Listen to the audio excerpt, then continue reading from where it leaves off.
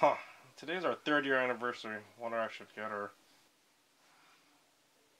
I know. I'll get her that one plushie that she tried to get during our first date.